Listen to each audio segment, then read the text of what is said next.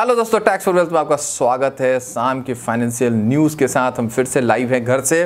Corona virus का impact तो आपने मार्केट में देख ही लिया होगा सेंसेक्स उनचालीस पॉइंट नीचे है। मुझे तो समझ में नहीं आ रहा जिनकी स्टॉक होल्डिंग हो, जो होल्डिंग वाले और म्यूचुअल फंड वाले, उनके स्टॉक के भी क्या हालात हैं, कहने की ज़रूरत नहीं है। अभी तो कहा जा रहा है कि इसमें 10 परसेंट की और गिरावट मिनिमम देखी जाएगी। यानी कि यहाँ से भी मार्केट 10 परसेंट नीचे रहेगा। सेंसेक्स पच्चीस हज़ार नौ सौ इक्यासी पर बंद हुआ, उनचालीस सौ चौंतीस पॉइंट नीचे।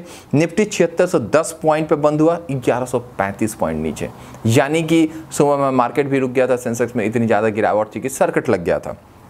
खैर, आगे बात करते हैं। ऑटो सेक्टर का परफॉर्मेंस और भी बुरा है, वो तो और भी बुरी तरह से जूझ रहे हैं। इस कोरोना वायरस की चपेट में है वो। तो ऑटो सेक्टर का जो परफॉर्मेंस था, वो काफ़ी बुरा रहा।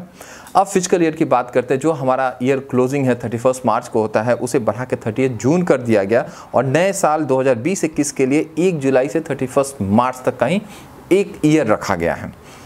इंटरनेट की बात करें, इंटरनेट जिसमें हम भी आज काम कर रहे हैं, घर से हर कोई काम कर रहा है, इंटरनेट की जो इंडिया में हालात है, वो भी अच्छे नहीं, वो काफ़ी स्लो हो गए हैं, क्योंकि कहा जा रहा है कि यूज़र बेस एकाएक इतना बढ़ गया है, इतनी ज़्यादा स्ट्रीमिंग हो रही है, घर से काम हो रहा है कि इंटरनेट का जो जो स्पीड है, वो इंडिया में स्लो हो गया है, ये देखा जा रहा है। यूबीएस यूबीएस ने कहा है कि जो इंडिया का ग्रोथ होगा 2000 फाइनेंशियल ईयर 21 के लिए वो चार परसेंट होगा।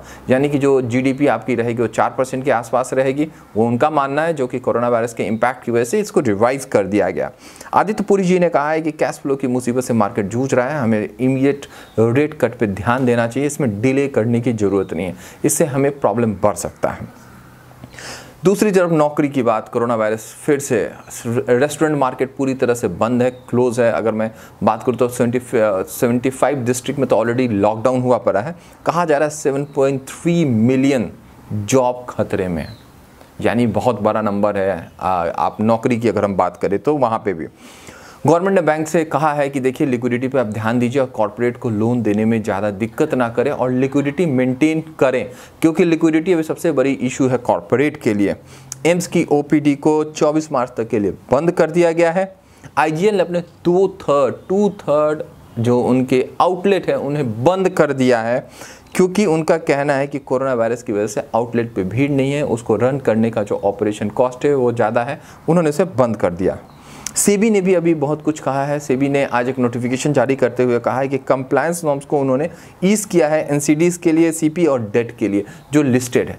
तो ओवरऑल अगर मैं, मैं बात करूँ तो मार्केट तो बहुत पैनिक है। मार्केट अभी भी नीचे जाता जा रहा है। ग्लोबल मार्केट के पूरे जो भी जो वो पुरजोर कोशिश कर रहे हैं मार्केट को थामने के लिए लेकिन वो बहुत ज़्यादा उसमें आप कह सकते हैं कि सफलता नहीं मिल रही है क्योंकि डे बाई डे जो इसका इम्पैक्ट है कोरोना का वो बढ़ता जा रहा है। उसकी वजह से मार्केट पैनिक है। ग्लोबल मार्केट की अगर हम बात करें तो यूएस भी बहुत कोशिश में लगा है किसी भी तरह से मार्केट को रोकने के लिए, लेकिन कहीं उसमें सफलता उसे दिख नहीं रही।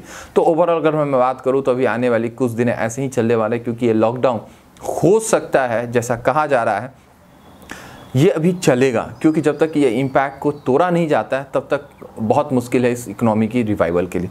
तो आज के लिए इतना ही। घर से मैं हिमांशु कुमार। अगर आपको हमारा वीडियो अच्छा लगे तो सब्सक्राइब करना बेल बटन दबाना ना भूलें। Thank you